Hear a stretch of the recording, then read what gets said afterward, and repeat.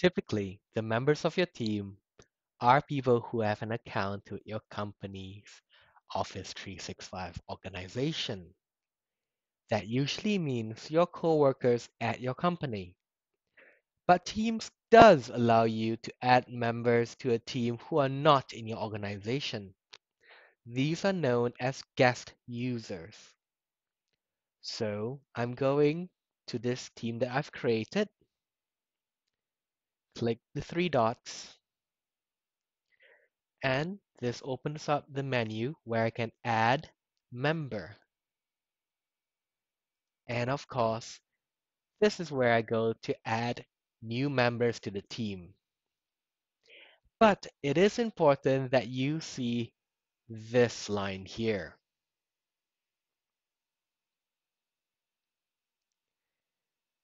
It says that you are able to add people outside your organization as guests by typing in their email.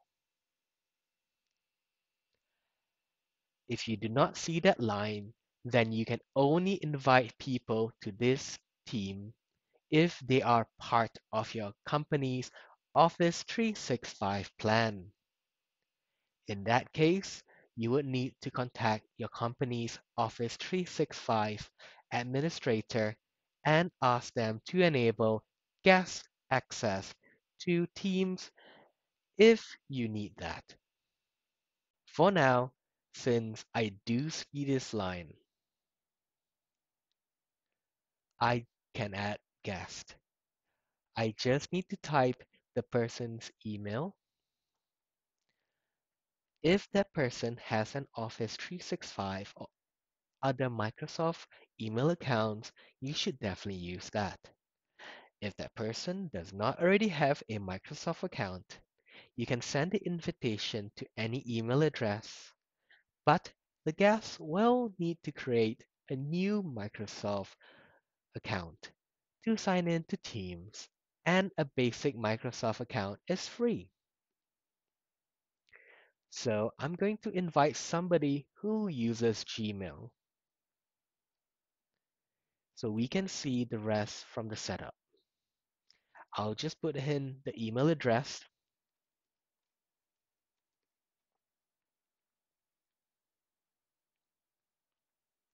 and you can see it's giving me the option to add as guest, which is what I want to do. So I'll click here and add.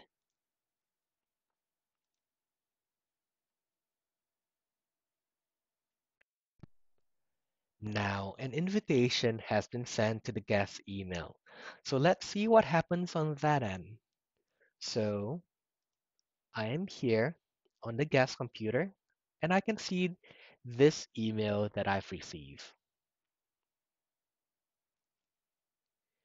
I'll click to open Microsoft Teams. And to activate it, it may ask you to use a code that it will send to your email.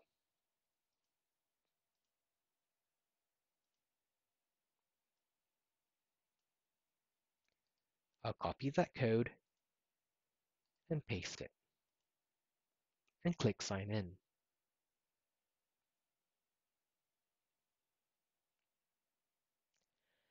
Since this is the first time the user signing into Teams, we need some time to set up. I'll just click accept.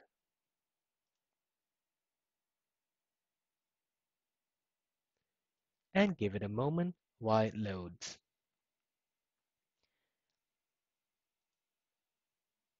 I do not want to use the desktop version.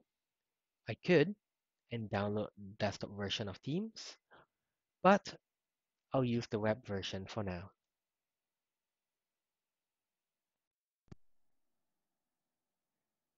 Just to clarify, if you do not create a Microsoft account, every time your guests would like to sign into Teams, they would have to receive a code in their email and input that code.